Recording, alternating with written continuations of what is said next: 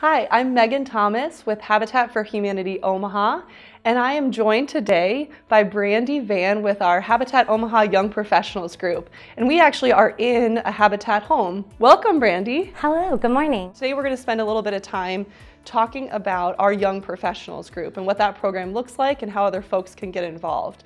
So let's just kick things off um, by having you explain what the group is all about. Who are the Young Professionals?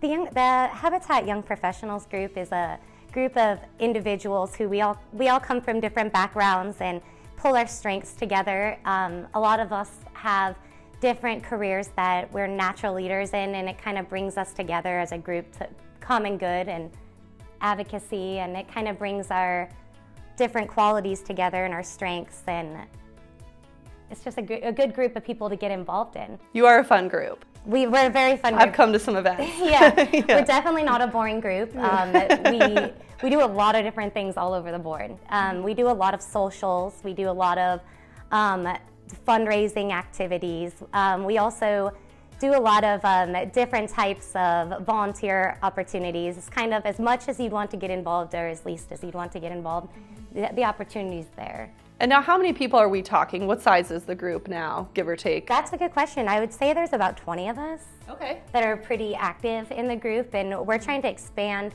um, in the next five years, really try to bring a little more diversity to the group and try to bring more people from different backgrounds and that way we can get different types of goals and strengths and outreach and kind of come to our common goal. So tell me about some of the typical activities of the group. Do you guys do the traditional construction the builds out on the construction site? You, yep, you, um, you do. We have about eight builds a year that you can become involved in.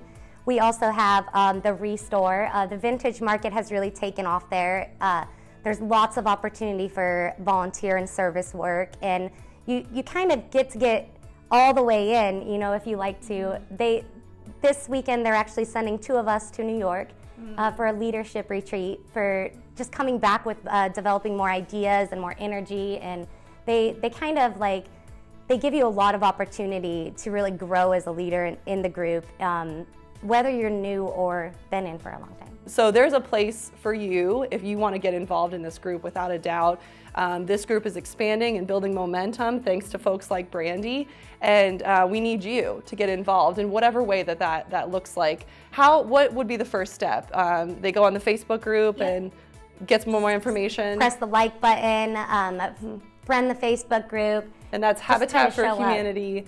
Habitat for Humanity Omaha Young Professionals. Young, yep, or HYP. Mm-hmm. If you mm-hmm. Google that, you can also find it. Um, join the Facebook group, show up to the events, don't be a stranger. Mm-hmm. Friend request us. I love it. Be our friend. Yeah. Um, information can also be found on our website, habitatomaha.org.